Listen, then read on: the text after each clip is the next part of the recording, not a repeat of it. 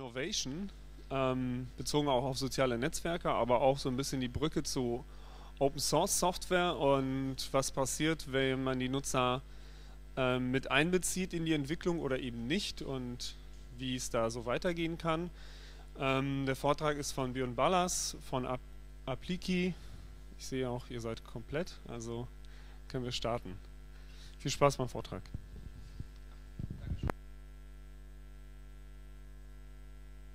Okay. Ja, willkommen. Ähm, sind ja ordentlich ein paar Leute da. Ähm, genau, worum geht es? Ähm, ich werde heute versuchen, ein paar Worte zu sagen, wie man ja, mit Anwendern zusammen Innovationen kreieren kann und welche Rolle dabei soziale Netzwerke spielen können und es tun. Vielleicht auch schon heute.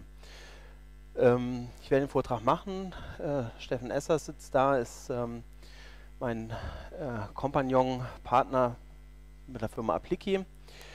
Ähm, ich werde den, wie gesagt, ich werde den Vortrag heute machen. Steffen hat mich dabei mit unterstützt. Vielleicht ein, zwei Worte über mich. Ich äh, beschäftige mich seit äh, ja, deutlich über zehn Jahren mit der Fragestellung, wie kann man Technik für Menschen machen. Bin ähm, Psychologe von der Ausbildung her, ähm, seit einiger Zeit auch sehr interessiert in agile Entwicklungen. Habe auch vor kurzem meinen Certified Scrum Product Owner offiziell gemacht und finde auch dieses Spannungsfeld gerade Usability als doch sehr träges, behäbige Wissenschaft äh, in agile Entwicklungsprozesse reinzubringen. Ja, ein sehr interessantes Thema. Ähm, Vielleicht ein Wort noch zu dem Bild, was ich hier als Hintergrund gewählt habe.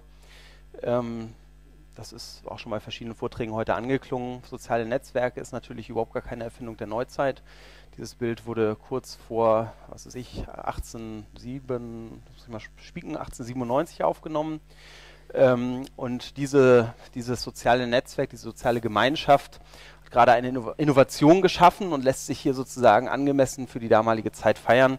Sie haben nämlich gemeinsam dafür gesorgt, dass dieses Dorf, was äh, irgendwo im norwegischen Hinterland liegt, einen Straßenanschluss bekommen hat und ähm, haben sich dafür sehr eingesetzt. Also ähm, soziale, äh, äh, ähm, soziale Netzwerke gibt es seit langem und auch, dass Menschen gemeinsam etwas schaffen. Also Erfindungen sind nicht immer nur Erfindungen einzelner Leute, sondern eben auch das Ergebnis von Gruppenprozessen und von gemeinsamer Arbeit ähm, ist nichts Neues. Ja, ähm, ich denke, um das Ganze ein bisschen einordnen zu können, ähm, müssen wir erstmal noch, oder muss ich noch mal ein paar Worte mehr über im ersten Schritt äh, die Firma sagen, die mir das überhaupt ermöglicht, hier heute äh, zu stehen. Bei Appliki, wir nennen uns psychologische IT-Beratung. Nicht nur deswegen, weil Steffen und ich Psychologen sind, als wir ähm, ja, und, und, als wir die Firma gegründet haben, äh, überlegt haben, wie wir es nennen, sondern weil wir tatsächlich glauben, dass die Psychologie als die Wissenschaft über das Erleben und das Verhalten von Menschen tatsächlich etwas dazu beitragen kann, auf eine ganz bestimmte Art und Weise, dazu Produkte auch besser zu gestalten. Weil letztendlich wollen wir mit Produkt, mit der Gestaltung von Produkten natürlich Verhalten ja, forcieren. Wir wollen natürlich, dass die Leute das tun, was wir wollen, letztendlich. Letztendlich tun sie das, was sie wollen, aber wir, wir wollen da natürlich darauf Einfluss nehmen.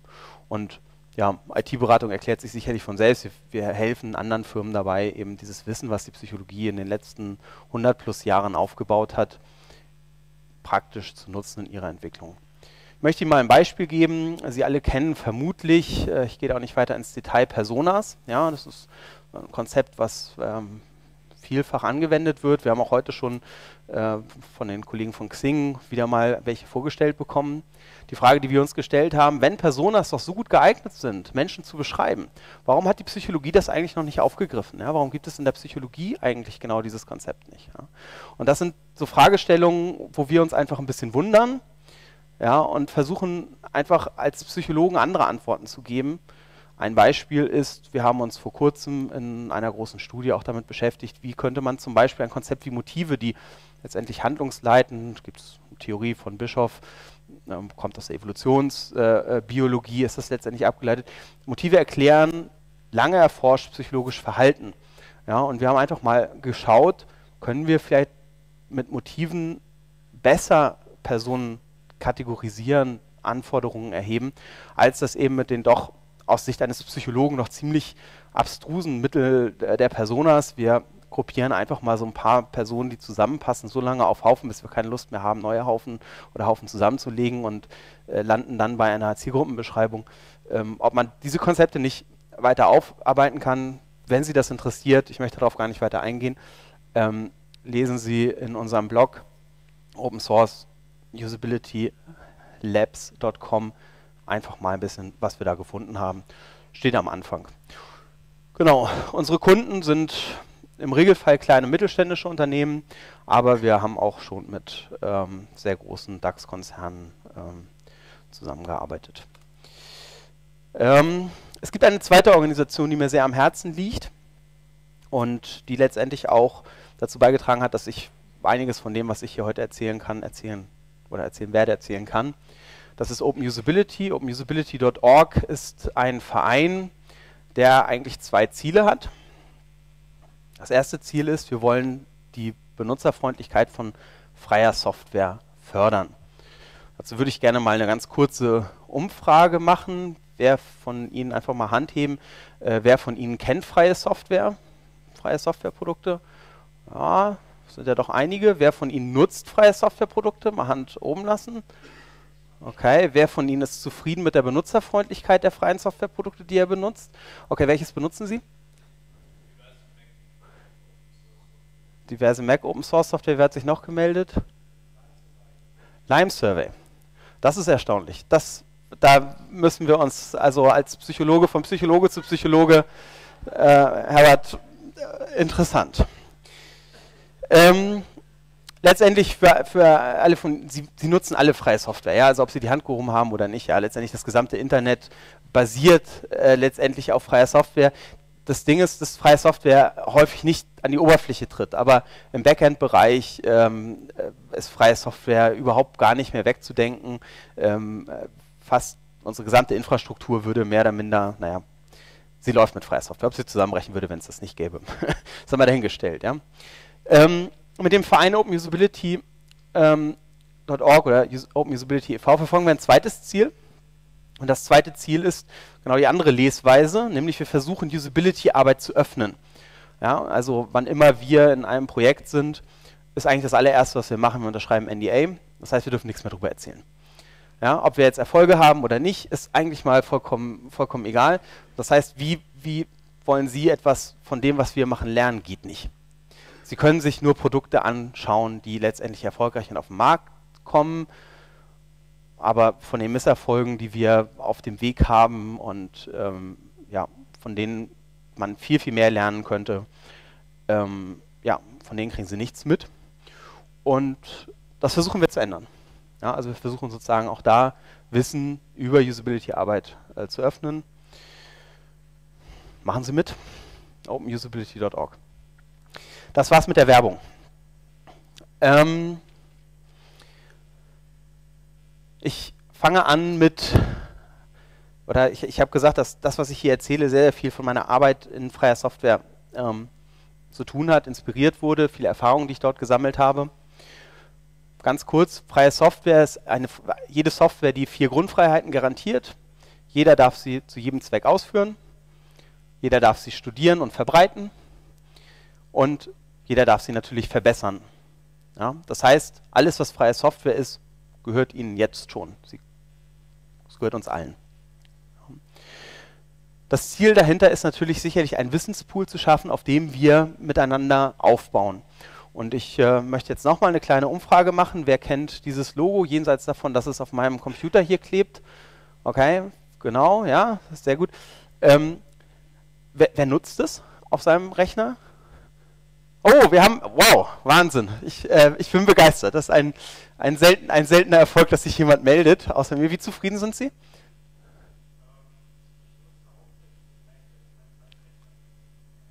Okay.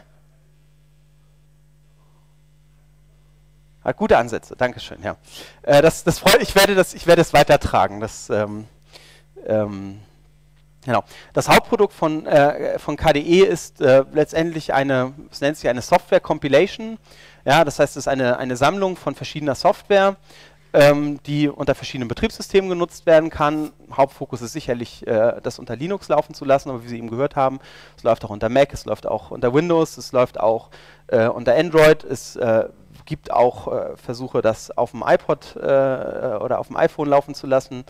Ähm, also letztendlich ist es, ist es Cross-Plattform und man versucht sozusagen eine Software-Kompilation zusammenzustellen, die eigentlich alle Bedürfnisse ähm, befriedigt, die man so hat, die gängigen Sachen. Ähm, also Textverarbeitung, Office-Produkte, äh, E-Mail, Webbrowser und so weiter und so fort. Ähm, das ist also das eine Projekt, an dem ich äh, selbst äh, mitarbeite, was ähm, Einfluss nimmt. Machen wir das gleiche nochmal. Wer kennt das? Okay, mal Hand da, dazu, wer kennt OpenOffice? Okay, also alle, die jetzt die Hand gehoben haben, vergessen Sie OpenOffice, das Projekt ist tot, das Projekt heißt jetzt LibreOffice.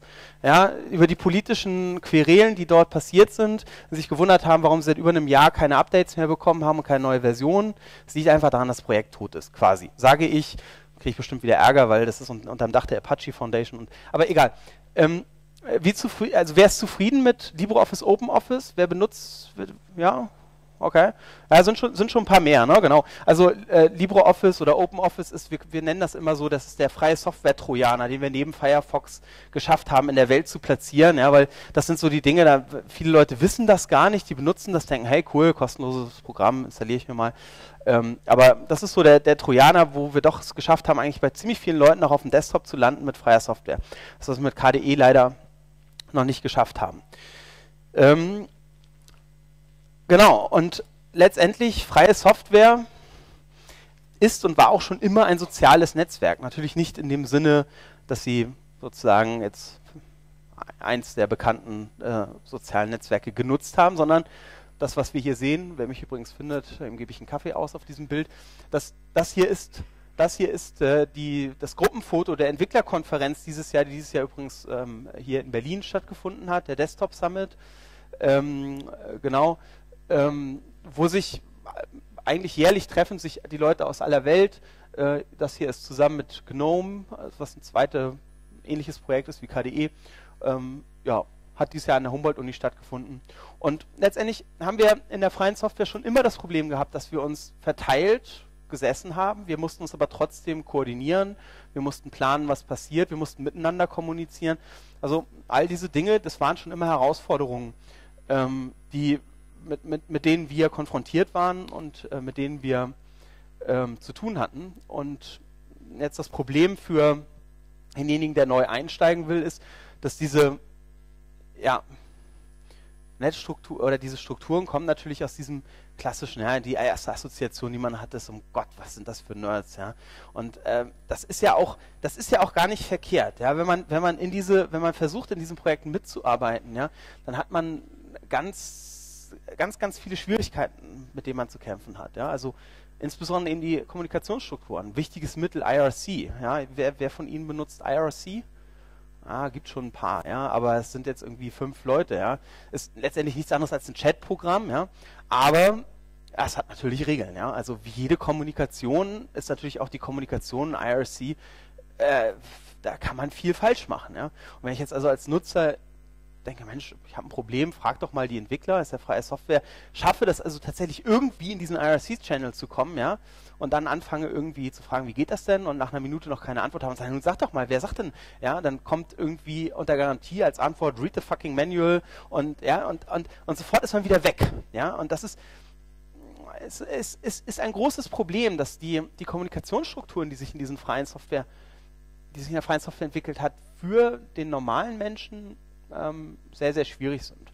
Weiß nicht, wer von Ihnen mal versucht hat, einen Bug zu reporten. Ja, also das, ich scheitere da regelmäßig dran. Ich kenne zum Glück die Entwickler zwischen größtenteils persönlich, sodass ich äh, um diesen Umweg Bug Reports häufig drum rumkomme. Aber ich, ich mache das nicht. Ja? Was schädlich ist für das Projekt, weil es natürlich total wichtig ist zu wissen, wo läuft man in Probleme und das, das auch zu dokumentieren. Aber um Gottes Willen, ich bin kein Entwickler, ich bin Psychologe. Ich habe doch, also nee, tut mir leid. Das, äh, das, das, das, geht, das geht zu weit. Ja?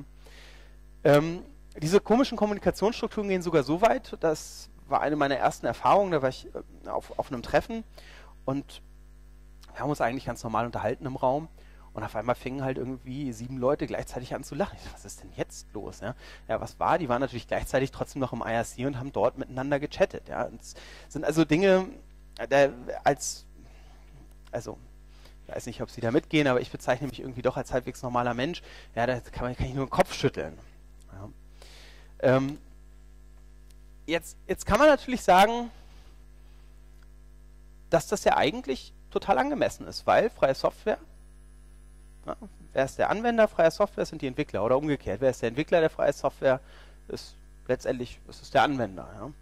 Und das ist ja auch gar nicht falsch. Ja. Also freie Software entsteht ganz, ganz häufig aus diesem Ansatz, ja, scratch your own itch heraus. Ja. Also ich habe irgendetwas, irgendein Problem, was mich nerft, also fange ich an als befähigter Mensch, der so etwas kann, also ich nicht, aber äh, stellvertretend ich, ja, äh, mich, mich, mich juckt etwas, also kratze ich. Ich schreibe also ein Programm und irgendwann ist es soweit, dass es meine Bedürfnisse befriedigt, das juckt nicht mehr. Ich veröffentliche das Programm, andere Leute springen auf. Das ist die ganz typische Geburtsstunde eines freien Softwareprojektes. Genauso fängt das an. Und ähm, ja, da äh, entsteht eigentlich auch, auch seit Jahren, ähm, äh, äh, entsteht auch aus diesem Bereich heraus Innovation. Wenn man zurückdenkt, ähm, dann war es irgendwie in den Anfangszeiten von KDE so, dass KDE eigentlich nur versucht hat, Windows nachzuprogrammieren. Ja? Also das sah dann irgendwie so aus, Open Office sieht so aus wie Microsoft Office, bevor sie Ribbons eingeführt haben. Ja, das ist, das war irgendwie der Versuch, da überhaupt erstmal Anschluss zu bekommen. Ja? Und heute ist es anders. Es, es ist so, dass wirklich Innovationen entstehen aus, aus diesen Projekten heraus. Es ist so, dass insbesondere bestimmte Desktop-Effekte, die inzwischen auch in, in Windows Einzug äh, gehalten haben, Mac schon ein bisschen früher, ähm, durchaus zuerst in freier Software aufgetaucht sind. Also ich kannte die schon sehr viel früher, als, als sozusagen das überhaupt jemals irgendwo in einer proprietären Software aufgetaucht äh, ist. Und es gibt auch noch weitere Beispiele dafür, ähm, wie das ja, also äh, wo sozusagen inzwischen durchaus Innovation auch entsteht. Ähm, letztendlich, warum, warum, warum macht man eigentlich freie Software? Was steckt dahinter? Ja? Und ich möchte so ein paar auf so ein paar Punkte eingehen, um auch persönlich so ein bisschen Werbung für freie Software zu machen. Also zunächst ist es so, hinter freier Software steckt eigentlich der Gedanke eines anderen Gesellschaftsmodells. Ja? Beispielsweise denken Sie daran, dass wir mit proprietärer Software einfach dafür sorgen, dass wir Entwicklungsländer abgehängt lassen. Ja, wie soll ich, wenn ich ein paar Dollar am Tag habe, mir eine Microsoft-Lizenz kaufen? Es geht einfach nicht. Ja, das ist, ist nicht machbar. Ja, weil ich brauche eben die paar Dollar, um mir mein Essen zu kaufen. Hier gibt es Initiativen, können wir darüber streiten, wie erfolgreich sie sind. Eine, die bekannt ist auf jeden Fall, ist dieses One Laptop per Child, was letztendlich nur möglich ist, weil es freie Software gibt. Ja? Ähm, es gibt andere Dinge, wie beispielsweise kulturelle Anpassungen. Ja. Ich habe gerade zufälligerweise gestern gelesen, äh, dass jetzt, ich glaube mit, war es Gälisch? Ich glaube, es war Gälisch. Die 105. Sprache äh, von einem Enthusiasten in LibreOffice äh, als, als Sprachvariante eingefügt worden ist. Ja.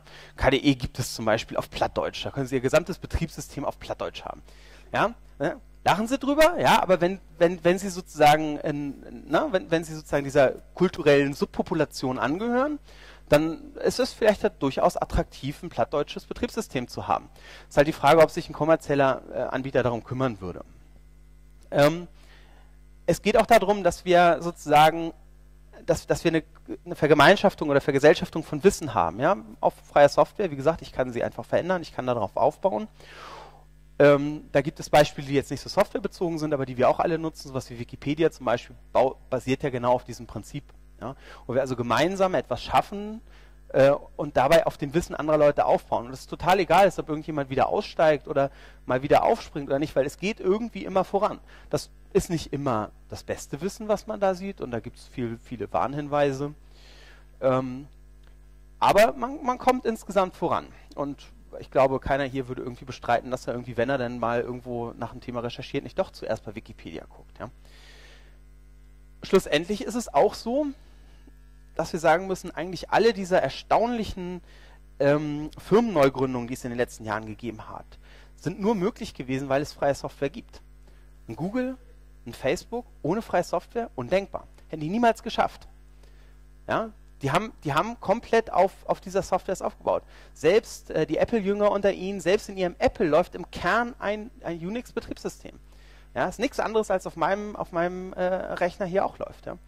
Ähm, es gibt so eine Art moralischen Kodex. Und das ist das, wo sich dann diese Firmen doch sehr unterscheiden.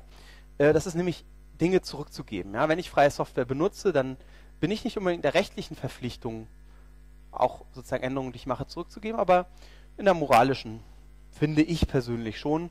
Und da gibt es dann große Unterschiede zwischen den einzelnen Firmen, auf die ich jetzt nicht näher eingehen werde. Ja, was halten wir fest? Es ist so, dass heutzutage fast alle Menschen auf die eine oder auf die andere Art und Weise freie Software benutzen.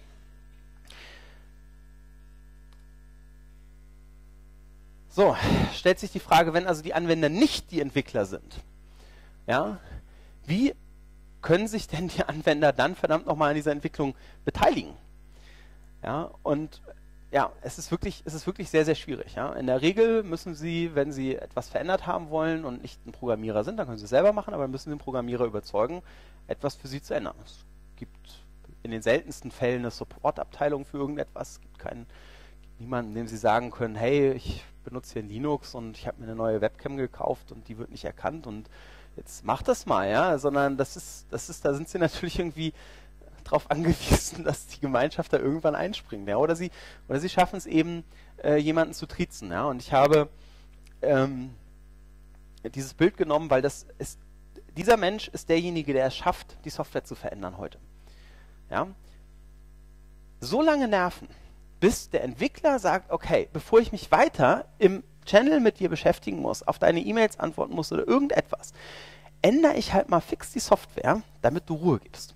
Das sind die Leute, die tatsächlich heute häufig, viel zu häufig meiner Meinung nach, Erfolg haben dabei, ähm, ähm, Software, äh, freie Software zu verändern. Ja? Also die, die Schreihälse, die da drin sind.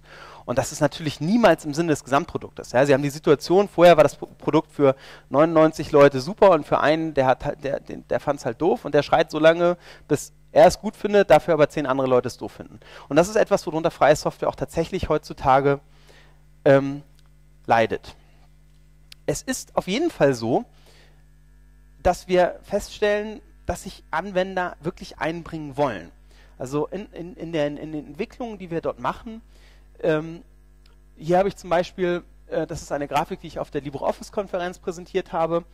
Ähm, Sie sehen unten abgetragen, wie viele E-Mails eine einzelne Person geschrieben hat im Laufe eines Jahres. Und dann sehen Sie, die Höhe der Balken ist die prozentuale Verteilung. Und wenn Sie hier links von 0 bis 10 E-Mails das nochmal einzeln aufteilen, dann sieht die Verteilung wieder so aus. Ja? Das heißt, was passiert ist, wir bekommen auf der LibreOffice-Liste oder ja, auf der Liste, die ich hier analysiert habe, wir bekommen ungefähr, sagen wir mal, in ein bis zwei Wochen bekommen wir einen Vorschlag darüber, wie das UI von LibreOffice doch in Zukunft aussehen könnte. Da setzen sich Leute hin, das muss, ich meine, ich, ich bin vom Fach, wenn ich das beurteilen muss, da sitzt man zwei, drei Wochen dran, bis man so ein Mockup, so ein Design fertig gemacht hat. Die Leute setzen sich hin, sagen, hey, ich habe die Idee, so muss eine Textverarbeitung aussehen. Und kommen dann zur Liste, schreiben eine Mail und sagen, guck mal hier, geht dahin, ich hab's, das ist es, so muss LibreOffice aussehen. Ja, wenn wir dann darüber nachdenken, was die Entwickler im Moment machen, LibreOffice ist entstanden aus StarOffice, ehemals äh, in Hamburg, oder in OpenOffice jetzt LibreOffice. Die Entwickler sitzen im Moment da dran und entfernen deutsche Variablennamen und äh, deutsche Kommentare aus dem Code, damit sie in der internationalen Gemeinschaft überhaupt dieses Produkt weiterentwickeln können. Jetzt kommen Sie diesen Entwicklern mal mit dem Vorschlag, so wäre das coole, geile neue UI, das wie LibreOffice aussehen könnte.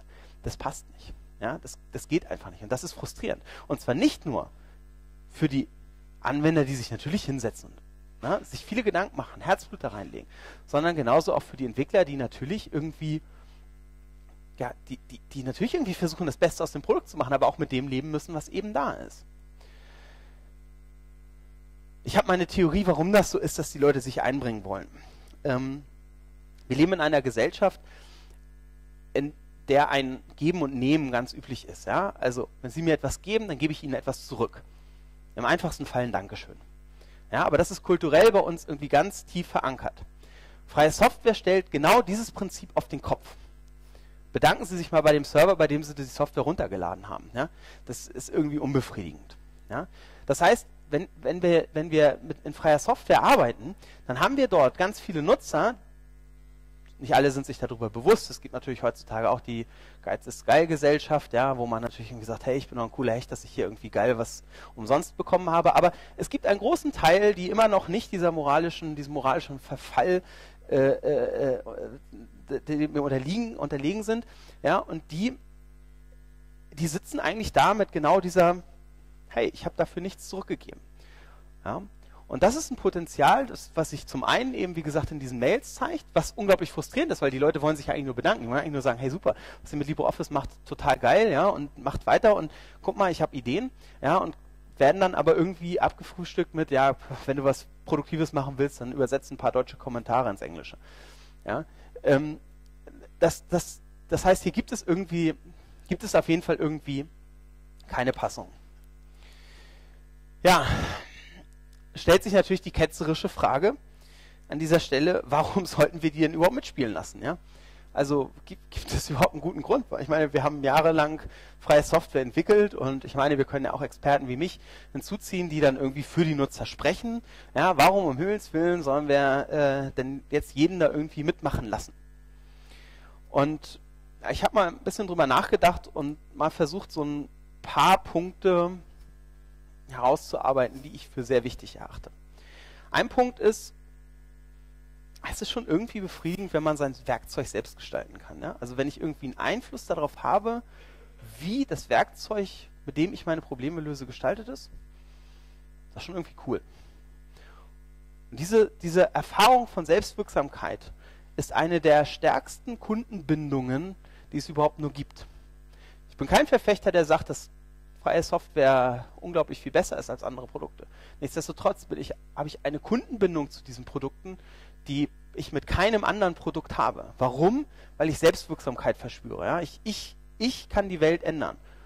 Und wenn wir das schaffen, sozusagen auch in freier Software, ähm, den Menschen in der Masse Selbstwirksamkeit spüren zu lassen, ja, dann, dann haben wir ganz, ganz viele Leute, die rausgehen, andere Leute überzeugen und sagen, hey, cool, benutzt das. Wir haben, wenn wir mit den Anwendern zusammenarbeiten, wir haben vorhin schon was über, über Anforderungsanalyse gehört, wenn wir viele Leute haben, die ihre Erfahrungen einbringen, dann haben wir einen ungeheuren Wettbewerbsvorteil, weil wir verstehen, welche Situationen es da draußen gibt. Wir verstehen, in welchen Situationen setzen die Leute denn unsere Produkte ein. Ja, das hilft uns ungeheuer unser Produkt weiterzuentwickeln und kann im besten Fall zu einem Wettbewerbsvorteil werden. Ich persönlich behaupte, dass der gemeine Nutzer keine Befähigung darin hat, sein Werkzeug zu gestalten. Das heißt, wenn ich also mit 100 Nutzern arbeite, ist die Wahrscheinlichkeit, dass irgendjemand von diesen 100 Nutzern befähigt ist, einen wirklich sinnvollen Vorschlag zu machen darüber, wie die Interaktion besser laufen könnte, nahe Null ist. Wenn ich das aber schaffe, das in die große Breite zu, zu bringen, wenn ich also wirklich viele Nutzer schaffe, mit einzubringen, dann, ist die dann, dann steigt diese Wahrscheinlichkeit natürlich. Ich schaffe es, Innovationspotenzial, es gibt ja diese Ausnahme, wo ein Nutzer gleichzeitig natürlich einer von Ihnen ist, ja, die wir uns alle professionell damit beschäftigen, Werkzeuge zu gestalten, aber der normale Nutzer ist es eben nicht. Ja, aber wenn ich das mit ganz vielen mache, dann sind halt einfach auch mal Glückstreffer dabei.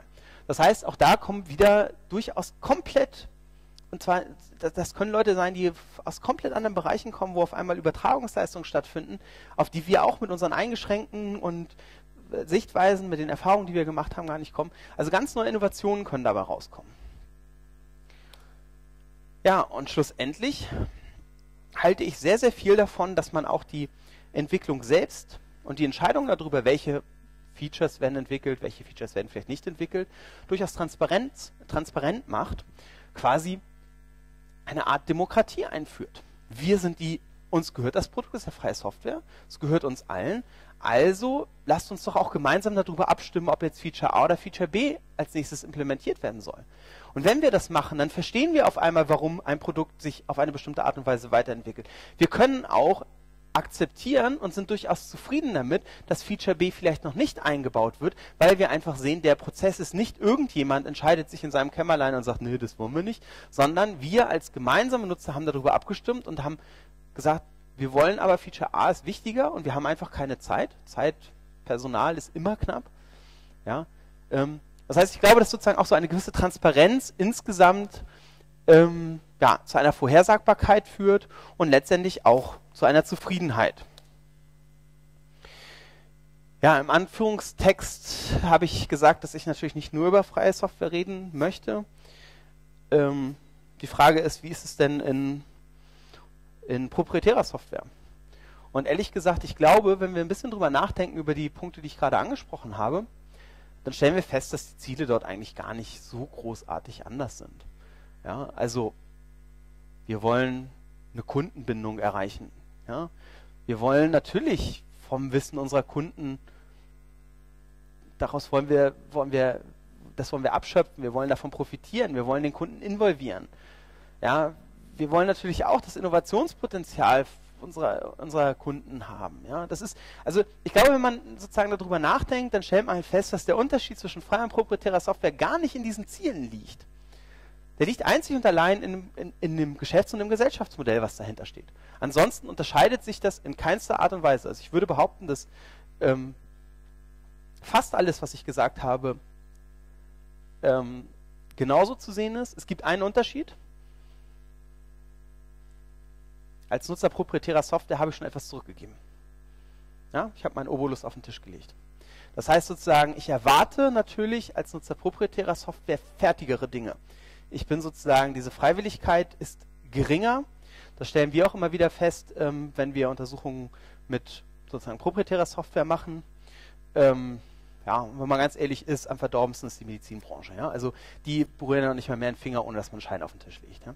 Aber ansonsten ist es schon so, wenn wir freie Software, wenn wir Befragungen machen, dann kriegen wir innerhalb kürzester Zeit Tausende, Abertausende von Antworten. In proprietärer Software können wir über Hunderte schon ähm, sehr, sehr froh sein. Ja, stellt sich also die Frage, ähm, die Probleme habe ich jetzt aufgezählt, äh, auf die die Anwender stoßen, wenn sie sich einbringen wollen oder wenn wir versuchen wollen, dass, dass sie sich einbringen. Stellt sich natürlich die Frage, wie können wir sie denn überhaupt strukturiert in die Anwendung ein, in, in die Entwicklung einbinden. Wir sind uns erstmal darüber einig, sonst wären wir sicherlich nicht hier. Wenn wir sie nicht einbinden würden, würden wir bei schlechteren Produkten landen. Also ist die Frage, wie kriegen wir eine Struktur hin? Wenn wir keine Struktur haben, haben wir vorhin schon festgestellt, Situationen im Moment in freien Softwareprojekten haben wir Frustration. Auf beiden Seiten, Entwickler wie Anwender. Wenn wir keine Struktur haben oder die falsche Struktur haben, dann fragen wir vielleicht die falschen Anwender zum falschen Zeitpunkt und die falschen Fragen. Ich wedel hier nochmal mit der Psychologie-Fahne, ja, also Menschen zu befragen ist durchaus etwas, was Psychologen, zumindest in meiner Selbstüberschätzung, besser können als andere Leute.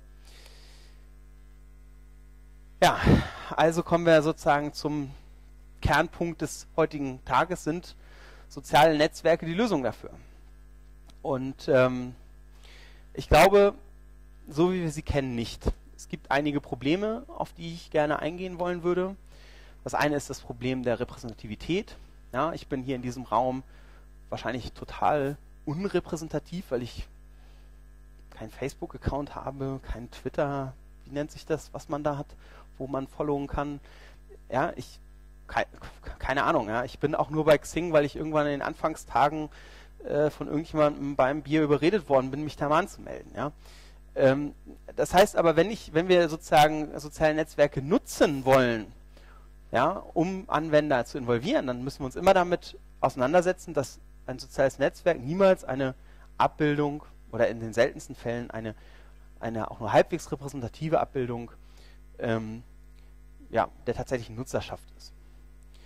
Wir haben ein zweites und ein drittes Thema, ich fasse das mal kurz zusammen. Die letztendlich sind soziale Netzwerke nicht dafür gedacht, als Werkzeug eine Zusammenarbeit von Nutzern und den verschiedenen Kompetenzen im Entwicklungsprozess ähm, zu unterstützen. Das heißt, soziale Netzwerke sind dazu gedacht, sich zu kommunizieren, aber nicht um zu arbeiten. Ja?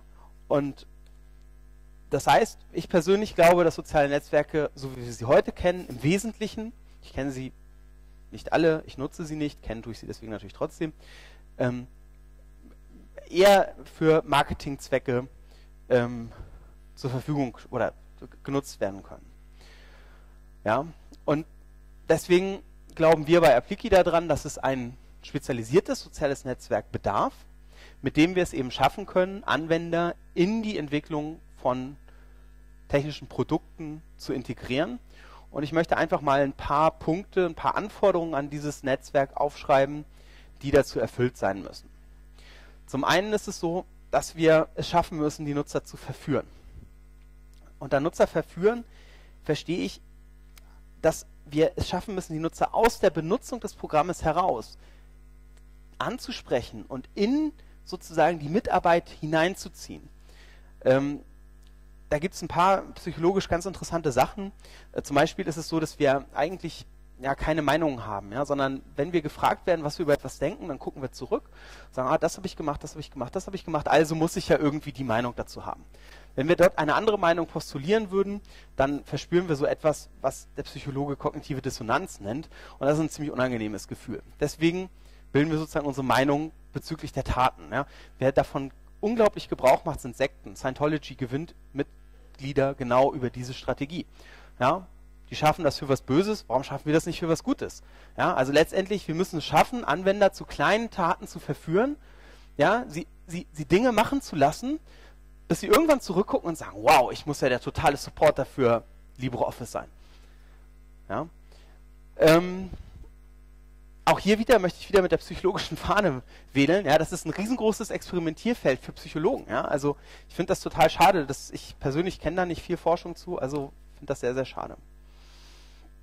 Ähm, einen zweiten Aspekt, den wir brauchen, ist, wir müssen, wir müssen die Usability selbst vereinfachen.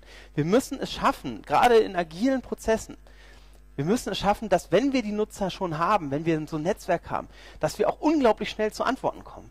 Ja, wir träumen immer davon, dass man sagt, okay, ich gehe als Entwickler, ich gehe abends nach Hause und wenn ich morgens wieder da bin, habe ich die Antwort auf meine Frage. Das ist über das Internet und das ist mit sozialen Netzwerken möglich. Aber wir müssen dafür natürlich unsere Methoden hinterfragen. Wir müssen eventuell auch neue Methoden erfinden. Ein dritter Punkt ist, Usability ist immer, ich verstehe unter Usability, es gibt ja leider großes Thema, falls sich damit jemand beschäftigen möchte, mal Worte vereinheitlichen in unserem Fachbereich. Ich finde das total schrecklich. Man kann sich mit Leuten streiten über das gleiche Wort und stellt irgendwann fest, dass man komplett unterschiedliche Dinge meint. Usability, meine Definition ist, Entwickler hat eine Frage und befragt den Anwender und bekommt eine Antwort. Es gibt natürlich den Prozess auch genau andersrum. Das ist, Anwender haben Ideen und möchten die sozusagen zum Entwickler durchbringen. Das ist das, was ich User-Driven Innovation nenne. Ähm, dazu ist es sicherlich so, dass die Anwender sich gegenseitig moderieren müssen. Es ist eigentlich ein Prozess, wo die Ideen so langsam nach oben kommen müssen und wir als Entwickler sozusagen nur den Schaum oben abschöpfen müssen und den ins Produkt reinbringen. Das wäre der Idealfall, den wir äh, erreichen können. Als vierte Forderung ist es so, dass wir sicherlich interdisziplinär zusammenarbeiten müssen. Das heißt, es geht nicht nur darum, dass wir uns darauf konzentrieren, dass es Anwender und Entwickler gibt. Vielleicht das Bild noch erweitern und den Usability-Experten machen. Nein, es gibt ganz, ganz viele Leute, die mit den ähm, Entwicklern, äh, die mit den Anwendern arbeiten, zu unterschiedlichen Zeitpunkten. Und wenn ich mir die Entwicklung heute angucke, dann kriegen wir in der Entwicklung sehr, sehr, sehr, sehr wenig von den Ergebnissen mit, die beispielsweise das Marketing gemacht hat oder die Vorentwicklung oder die aus dem Support kommen. Diese, diese ganzen Kommunikationen, die dort stattfinden, die sind im Moment, naja, auf jeden Fall nicht nachhaltig. Ja. Ähm, genau, ich äh, muss zum Ende kommen, du guckst schon auf die Uhr fünf Minuten sagst du, naja, das reicht ja sogar noch für Fragen. Die gute Nachricht ist, äh, wir arbeiten daran. Ähm, die schlechte Arbe äh, Nachricht ist, wir sind noch lange nicht fertig. ähm, was Sie hier sehen, ist ein, äh, ist ein, Screenshot aus einer Untersuchung. Wenn ich jetzt noch ein bisschen mehr Zeit gehabt hätte, würde ich Ihnen das auch noch live zeigen. Also erkläre ich das einfach. Wir haben zum Beispiel etwas erfunden, was wir Icon Usability Test nennen. Ähm, Warum verwendet man Icons? Naja, ganz einfach, weil ich Bilder schneller erkenne als Text und weil Bilder weniger Platz in Anspruch nehmen als ein langes Label. So, wie gut ist denn jetzt ein Icon? Wissen Sie das? Können Sie das rauskriegen? Sie können es rauskriegen. Ja? Und zwar, indem wir objektive und subjektive Methoden miteinander verrechnen. Ja? Wie häufig werden Icons bestimmten Begriffen zugeordnet ja? und wie schnell geht das? Damit haben wir sozusagen eine objektive Messung, Geschwindigkeit und eine subjektive Messung, eine Zuordnung. Wenn wir das miteinander verrechnen, über eine gewisse Anzahl von äh, Teilnehmern machen, Sie haben vorhin ein bisschen gelacht, als ich gesagt habe, wir kriegen bei freien Projekten innerhalb kürzester Zeit Tausende von Teilnehmern. 6279, ich glaube, diese Studie lief keine Woche. Ja, also das, das ist KDE, freie Software, das ist wirklich, die Leute wollen etwas zurückgeben. Ja. Ähm, was haben wir dabei rausgekriegt? Unter anderem, was es extrem wichtig wäre, Icons mal zu internationalisieren. Ja, Sie kennen CD brennen, ja, CD mit irgendeiner Flamme dran, Nero Burning ROM. Wussten Sie das, dass man auf Französisch CDs engraft? Ja, der Franzose guckt Sie blöd an, wenn Sie sagen, brennen mir eine CD. Ja, und das, sowas kann man rauskriegen, in, kann man rauskriegen mit solchen Tests. Ja, wir haben festgestellt, dass das CD-Brenn-Icon mit einer Flamme dran im Schnitt richtig gut abgeschnitten hat. Und dann haben wir uns einzelne so Populationen angeguckt, nämlich zum Beispiel die Franzosen, und haben festgestellt, dass da ganz andere Icons gewählt worden sind, im Wesentlichen kein einziges Icon die Qualität hat. Und dann fängt man an nachzuforschen und stellt fest, hey, Mensch, stimmt, Kultur, international, schwierig. Ja? Und wie gesagt, hier haben wir ein Beispiel, das, wie gesagt, das Produkt ist nicht fertig, aber wir haben hier ein Beispiel dafür, wie wir zumindest diesen Usability-Aspekt, also wir haben eine Frage, wir haben ein Set von Icons, wir haben ein Set von Begriffen, wie passen die zusammen, welches Icon soll ich benutzen. Wir können diese Frage tatsächlich heute schon beantworten. Wenn wir abends nach Hause gehen, stellen wir die Frage, wenn wir morgens wiederkommen, wissen wir, welches Icon wir haben. Das heißt, da sind wir schon ganz froh drüber. Ähm, Einladung, machen Sie doch einfach mit. Ja, das äh, Produkt finden Sie als Arbeitstitel unter der Adresse usabilitymethods.com. Es hat sicherlich das Ziel, irgendwann ein soziales Netzwerk zu werden, was einerseits sozusagen uns von der Entwicklerseite mit den Anwendern in einem sozialen Netzwerk verbindet. Und das, was wir machen wollen, ist, wir wollen dort nicht die Kommunikation in den Vordergrund stellen, sondern wir wollen dort das Arbeiten, das Erschaffen von guten Produkten in den Vordergrund stellen. Und ähm, ja, kleiner Haken an der Geschichte ist, diese Plattform ist Beta, das meinen wir ernst. Es ist kein Werbegag, äh, wird es auch noch eine ganze Weile bleiben und sie kommen ausschließlich auf Einladung rein. Das heißt, wenn Sie das wünschen, dann schicken Sie mir eine Mail und ich lade Sie gerne ein. Haben Sie vielen Dank.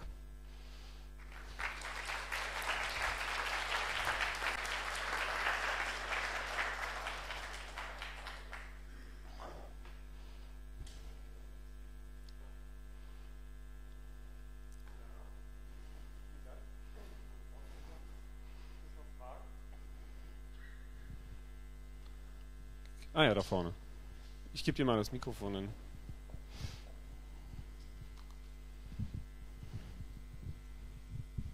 Ähm, wenn man das so macht wie Sie jetzt und wenn man Leute auf Einladung ähm, bittet daran teilzunehmen und man innerhalb von kürzester Zeit auch 6300 Teilnehmer hat, äh, wie repräsentativ ist dann die Stichprobe? Weil man möchte es international machen, man möchte es auch für Nutzer zugänglich machen, die äh, sonst vielleicht keine ähm, Open Source Software verwenden, ähm, hat hier aber eine Stichprobe von Leuten, die sich damit beschäftigen, die das auch aus einem gewissen Ideal heraus vielleicht verwenden und die damit auch was bewirken wollen, hat aber der, Norma der normale Käufer im Laden vielleicht nicht. Und wie lässt sich das darauf ähm, übertragen?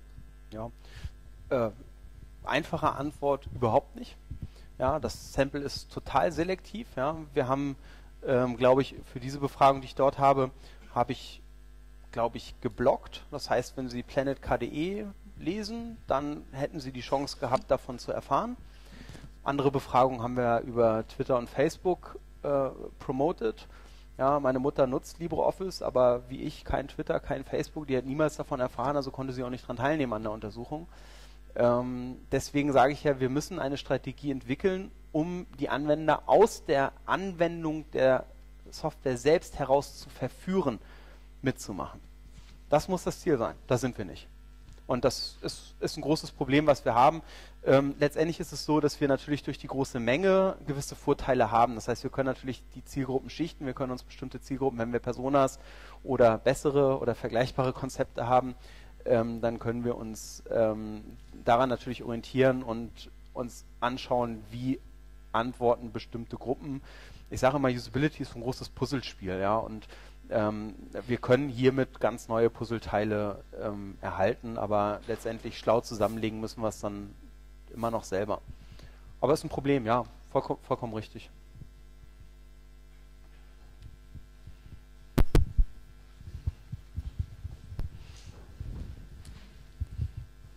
Ähm, zur Frage, was, wie definierst du Innovation? Weil beispielsweise Nutzerumfragen per se sind ja ein extrem wertvolles Werkzeug, aber nicht wirklich etwas, was Innovation per se generieren würde.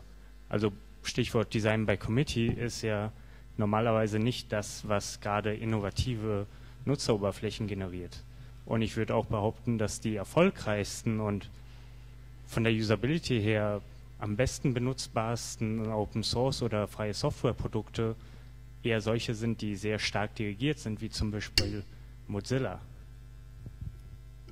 Also äh, Kernfrage, wie ähm, definiere ich Innovation? Gib mir die nächsten 45 Minuten und ich kann versuchen, eine Antwort zu geben.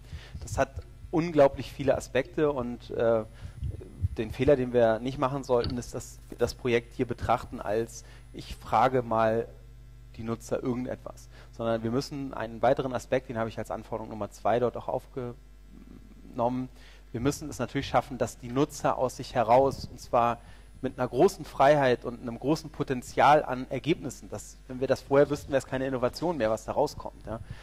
Ähm, also ich glaube, dass da, da, da, gehören verschiedene Aspekte dazu. Das eine ist eben Usability, das ist das, was wir hier gemacht haben. Ich habe die Icons, ich habe die Begriffe und ich möchte eigentlich nur wissen, was ist das beste Icon für einen entsprechenden Begriff. Andersrum müssen wir auch Strukturen schaffen und da arbeiten wir dran und das ist nicht einfach.